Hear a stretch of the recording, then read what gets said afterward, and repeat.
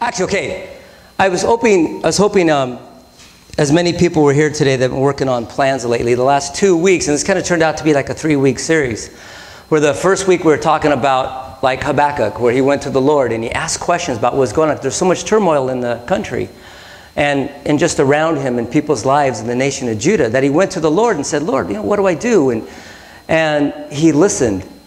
He, he paused and he listened. And the Lord says, okay, take out your tablets which is a different thing nowadays. and write this down so that people know. So he wrote down all these, these messages that the Lord was giving him. Is basically was planning.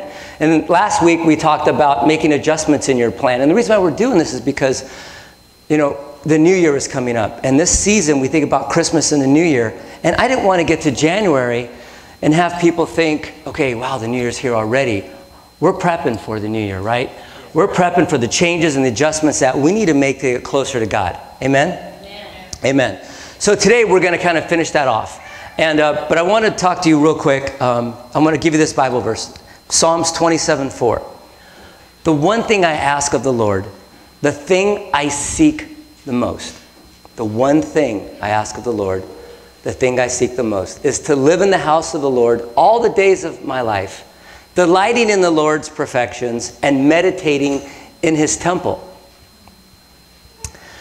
Does anybody remember a movie called City Slickers with Billy Crystal? you remember that? Yeah. I was going to try to show this scene of when Billy Crystal was talking to Jack Palance. They were cowboys in that, you know, it was modern day, but it was, well, 1991. But, but they were out in the range driving, you know, cows through Montana or something, and Pastor Rick and that's what you did, right? All right, John Wayne. So, uh, for those of you kids, uh, Clint Eastwood? Uh, no. Uh, who's John Wayne? They don't make westerns anymore, do they?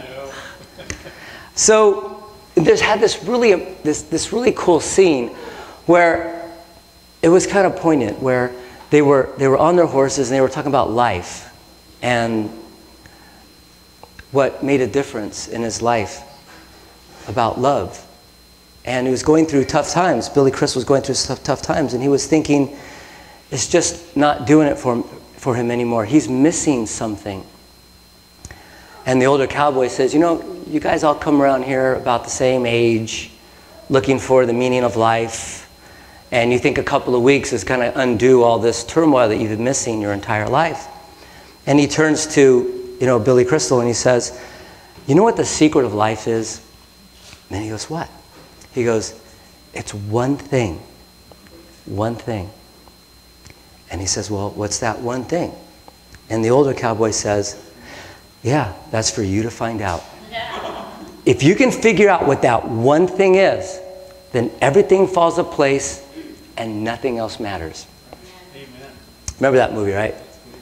So think about this again Psalm 27 4. The one thing I ask of the Lord, the thing I seek the most, is to live in the house of the Lord all the days of my life, delighting in the Lord's perfections and meditating in his temple. See, that one thing to David, who wrote this, was being in the presence of the Lord and worshiping and loving God. King David is saying, you gather with others. You gather in the temple and you praise and you worship God because being in His presence is the one thing that is my priority. That presence of the Lord every moment of the day. Knowing that this is my focus to love you and to lift you up forever. That's the translation of what King David's saying. By the way, little bunny trail. So I have this Bible for the last, I don't know, 15 years or so. And I'm looking through it, I'm going, I got to get to Psalm 27 as I look through the Bible and, and, I, and I get to Psalm 27, I see these doodles. You know what that is, Allison? So there's this pink pen written in, in my page, and it says, This is Allison's favorite verse with hearts. So you probably wrote that when you were like fifth grade. Fifth grade? What is that, 11, 12? Yeah, 11 or 12? I thought that was so cool. To me, that was like confirmation. See, today's message, we're going to complete what we've been doing the last couple of weeks planning and preparing and those adjustments that we need for the upcoming new year. And to focus on that one thing that we need to do to make all these plans of God just burst out in us. See, we've been working on making a godly plan the last three services or so, and the next year, what we want to do is clear things out that are holding us back from a closer relationship to our God. We don't want to wait for New Year to get here. And I keep saying that. I don't want to wait. Because it jumps on you, doesn't it, right? You wake up like January 1st, 2nd, 3rd, you go, I can't believe it's 2016 already. But we're going to be prepared. Amen? Amen? So by the time January 1st rolls around, we're going to have a pretty good idea of what we need to adjust in our life, what we need to start doing, stop doing, or continue doing. So that we can have the best relationship with God possible. Live our lives for Him and follow that ultimate plan that He has for us and the things that we've been working on and writing down. See, hopefully, I really pray that most of us have started on this plan already. If by some chance you haven't, we have some extra copies in the back. It's a little two page of what we planned out, what we're going to do for the Lord, and on the other side is some Bible verses that would help you. We have three sections in that plan. What we need to do for God, our plan to show our love and obedience to God, whether it's devotionals or pray together more or Bible studies or just meditate more, shut the door, turn off the lights, turn off the TV, turn off the cell phone, get into a quiet place, and just be in the presence of God. That we strive every day to please Him in everything that we do. The second part is God says, you know, bring your requests to me. You don't have because you don't ask. If you have burdens, take them off and lay them down at my feet. So the second part of this plan was our personal prayer request, no matter how small, no matter how big. It might include like uh, prayers for your family. Not just to go to your family and say, this person has a problem, that person has a problem. What you need to do is you need to go to the Lord and say, Lord, what can I do to help this person get closer with you? To be able to pray for your family members and say, you know, Lord, I'm going to intercede. I'm just going to pray for them. That's what I'm going to do right now. Or maybe you have something like job problems, financial problems, maybe your safety, your health, etc. Whatever you have that you need to overcome, personal, emotional, spiritual, mental, whatever, that's what we need to focus on when we go to the Lord. Lord, how can I be in your will in these issues? The third part, the most important part, is this praise report. When God completes something or even if it's not quite done yet, to still give thanks to God in everything. Everything. Thank you. Amen. So, so no matter what you guys are going through, to go, see what, Lord, here's what I don't know what's happening, but you're in control, you're sovereign, I don't get it, but you do. So you know what? Thank you. Thank you, Lord. So you give praise reports. And when something gets completed, you kind of scratch it off your, your, um, your plan and you move it into the praise section. That's what we're going to focus on today. That one thing that we can start that'll make everything else in God's plan for us just start to fall in place.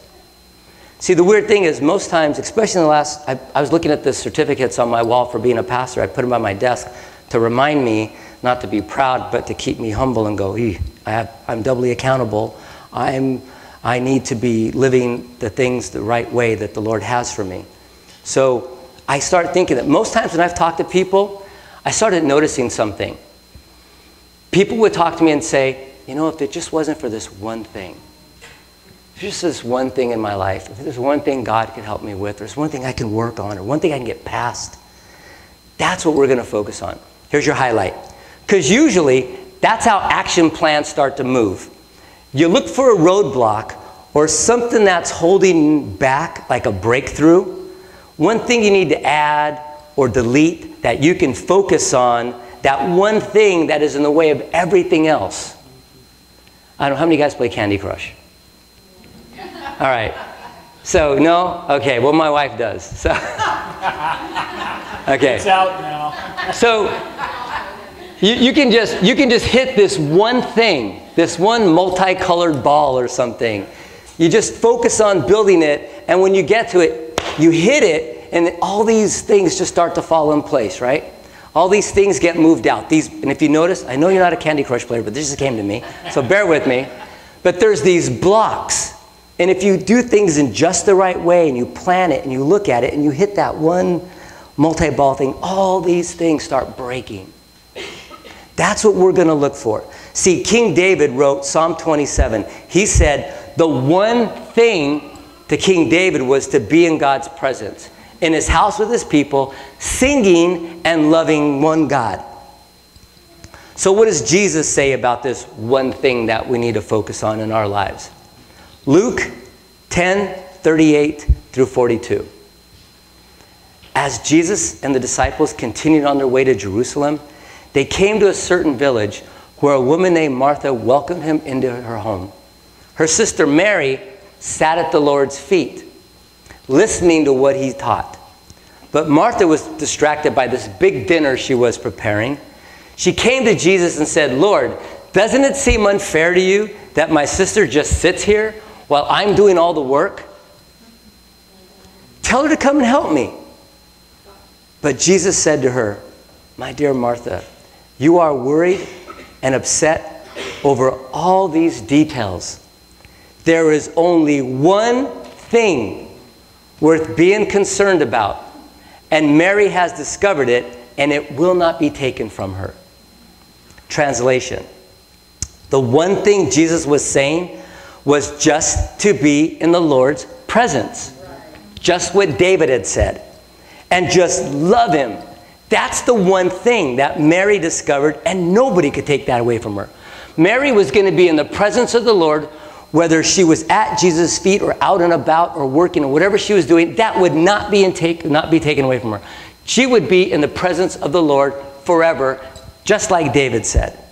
The one thing that we need to focus on in this new year as it approaches is to make our plans and then adjust our lives to have the best relationship with God ever. Ever. To put the past behind and focus on that future that God has for us. Because the one thing to strive for every day of our lives is to be in the presence of God. Love Him. Spend time praying, thanking Him, praising Him for how awesome He is. And the, one of the most important things that we talked about last week was to love God and then love others as the way He loves us. The Apostle Paul, who I just love, love, love Paul, he wrote a letter to the Philippian church to thank them for this gift. And in case you know who Paul was, he used to be Saul, Saul was radically transformed, saw Jesus face to face. Paul was so radically transformed from his old life to his new life. That's a different message, but I relate to that because that's how I felt. I am so different than I used to be. The Apostle Paul wrote this letter to the Philippian church to thank them for a gift, and his letter was really joyful. He thanks them and shares with the people of the church to be content. He was writing his, his message, says, Be content. No matter the circumstances, no matter what happens in your life, joy should be with us in good times or tough times. He was saying that the love, the joy, the peace, that presence of God should be with us no matter where we are, no matter what we're going through. He starts talking about the one thing that should give us joy being in the presence of Christ Jesus. And not that he's been perfect or achieved everything possible that he could have achieved. But Paul wants to press on, keep going, no matter what, to get to know Christ as much as possible, to be in his presence forever, knowing that that's going to get him eternity with Jesus. That's his goal. Philippians 3 13, 14. No, dear brothers and sisters, I have not achieved it, but I focus on this one thing. Again, Paul says, I focus on this one thing forgetting the past and looking forward to what lies ahead. I press on to reach the end of the race and receive the heavenly prize for which God, through Christ Jesus, is calling us. And what Paul is saying, that one thing is to be in the presence of Jesus.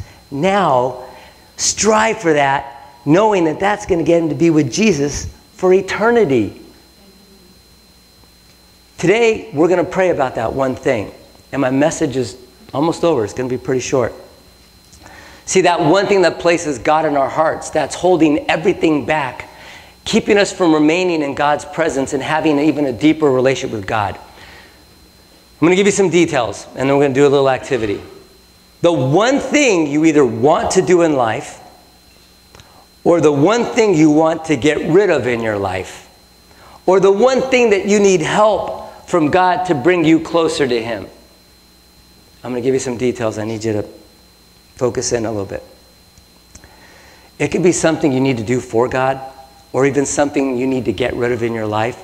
See, it's so important, like Paul was saying, to forget the past. We cannot bring the things that we've had in our past in this last year that didn't please God into this next year.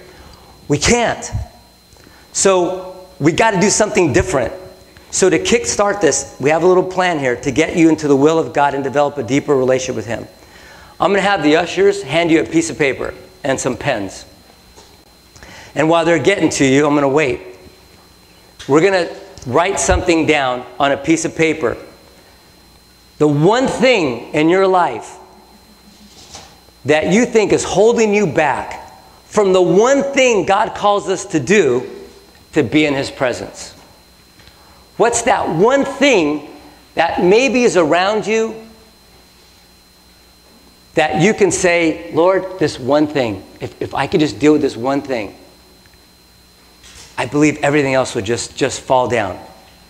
So here are some thoughts for you to consider as you think about this one thing. It could be something really positive, or it could be something that you're struggling with. See, but we want to get to the root issues, positive or negative, not symptoms. So I'm going to break it down for you a little bit. It could be that one thing that will open up a stronger, deeper relationship with God. And think about it this way it may not be health issues or money troubles or family problems. So the one thing may not be, Lord, my wife, my husband, my niece, my nephew, my sister, brother, best friend, you know, uncle, brother in law, father in law. See, think about it this way. It could be that the one thing that you have a problem with, it's not really this symptom, it's how you handle it. It could be the one thing that opens up a stronger, deeper relationship with God is not that health issue, money problem, but how we handle, think of Job. No matter the family tragedies, the health, anything that came across him, he would not get out of the presence of God. How you handle things is what we're going for this morning. Any anger, any jealousy, any envy, any unforgiveness towards someone addictions, drug, alcohol, lust, any gossip, any vulgar negative thing. See, those are roots. Those are something that we have to deal with. So sometimes we have problems with people. It's not so much the person, it's the way we're handling it, the way we're loving them. And if the one thing that's holding us from a relationship with God that's even stronger and deeper, you may not think, okay, things are going pretty fine. You may not think that there's something you need to deal with that way. You need to spend time maybe more reading, studying, learning His Word, serving others, volunteering. Maybe we haven't shown appreciation in the past because things are going pretty good and you think you don't need God. So you've been kind of ignoring Him. Maybe you need to love the people around you as God loves you. Or even if everything that you look at, you know, God, everything's all right. Maybe it's pride. Maybe it's a lack of trust in God. See, the one thing King David, Paul, and Jesus spoke of was is to be in God's presence. Habakkuk went to the Lord, went into the presence of the Lord, stood on the watchtower, talked to him, and then listened. Everything comes down to being in God's presence. David was saying, being in the presence of the Lord in his house with people praising him, that gave me strength. Just worshiping God gives me strength. It clarifies things for me. Loving God and spending time with Him. So, one last thing. If you're not too sure about what that one thing in your life is, some people may say, Lord, I don't know what it is. I just don't feel connected to you sometimes. I, I just feel alone but you can't put your finger on what that one thing is that would break everything. Write that down. Say, Lord, reveal that one thing to me. Show it to me. Let me stay in your presence, sing, worship you, love you. Please reveal that one thing to me. And I'm going to give you some ideas from these scriptures for you to focus on as you write down this one thing.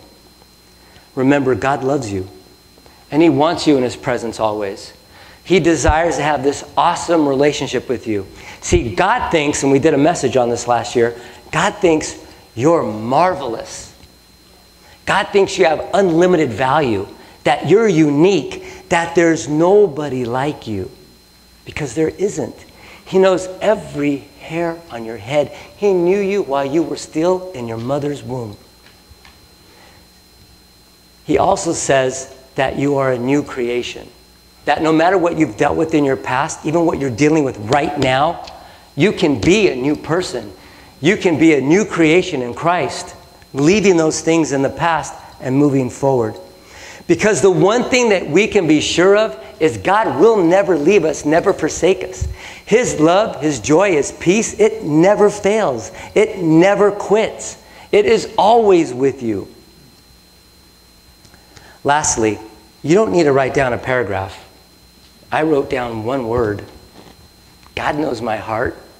If I just put a check mark or an X, God knows exactly what I'm looking at, what I'm thinking of, what I'm talking about. No names, no nothing. We're just going to get up. We're going to take these as Pastor Rick's going to say a prayer, and then the worship team's going to play. But the worship team, please don't come up until you're done. I'll go up there first. Write it down, and as you finish, carefully drop it at the foot of the cross in that little basket. We'll pray over them together, and then we'll just we'll get rid of them.